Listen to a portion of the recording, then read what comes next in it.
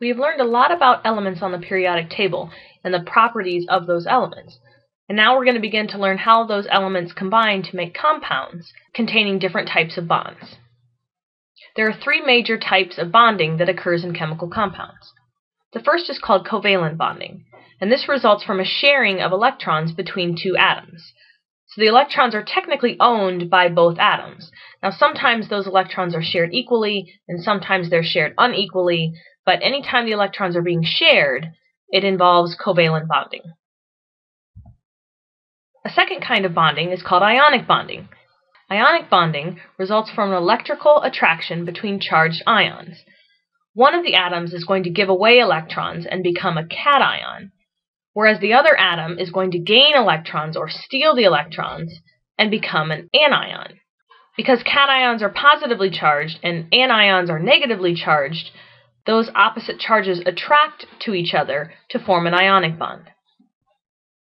The last kind of bonding is called metallic bonding, and this involves an attraction between metal atoms and their surrounding electrons, where the electrons are free to flow around all of the atoms in a sea of electrons. We'll learn more detail about metallic bonding later on in the chapter. In order to determine the type of bond that's involved in a compound, we estimate it using its electronegativity difference between atoms. If you look at an electronegativity table, the largest difference between atoms is going to be 3.3.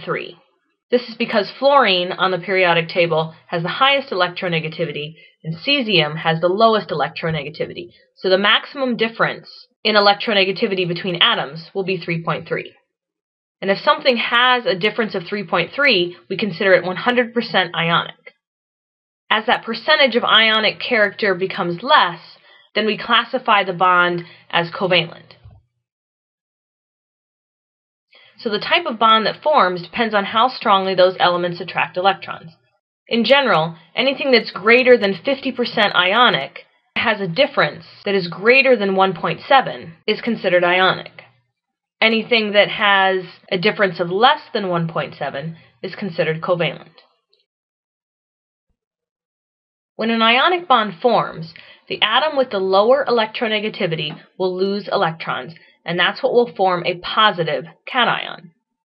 For example, sodium has one valence electron in its outermost shell that it will lose in order to become stable, like its nearest noble gas. When it loses that one electron, it will end up with a charge of positive 1. Atoms that have a higher electronegativity will tend to gain those electrons. So chlorine has seven valence electrons in its outermost shell, and it only needs one more in order to become stable like its nearest noble gas. So it will gain the one electron that is lost by sodium to form a negatively charged anion. Now notice the sodium ion is positively charged, the chlorine ion is negatively charged, and now there is an electrostatic attraction between those two particles where the opposite charges attract to each other, and that's what forms the ionic bond. When a covalent bond forms, there can be two different types of covalent bonding. You can have a polar covalent bond in which the electrons are shared unequally. So the electronegativity difference is somewhere between 0.4 and 1.7. So there's still a, quite a big difference between the electronegativities. So one of the atoms in the chemical bond actually hogs the electron. The electrons hang out more around the atom that has the higher electronegativity. So you can see in this picture of hydrogen chloride that the blue electron cloud is kind of lopsided, with more of the density of the electrons hanging out around the chlorine and less density of electrons hanging around the hydrogen. That unequal sharing of electrons is called a polar covalent bond. Whereas a nonpolar covalent bond has an electronegativity difference of less than 0.4. In these compounds, the electrons are shared equally. So notice the electron clouds of the hydrogen molecule and the chlorine molecule. The electron cloud is evenly distributed between both hydrogen atoms or evenly distributed between both chlorine atoms. Also notice that the triangle in these pictures represents the center of the negative charge. And in both of the hydrogen and the chlorine molecules, that triangle is in the center of both atoms, showing that those negative electrons are equally being shared between the atoms. Whereas in the hydrogen chloride at the top of the page, that triangle representing the negative charge is off center. Most of the electrons are hanging out more towards the chlorine than they are the hydrogen, and that's what makes them polar. It's very easy to predict what type of chemical bond will form between atoms. All you need to do is be able to subtract the electronegativities of each atom. For example, what type of bonding would be expected between the following atoms?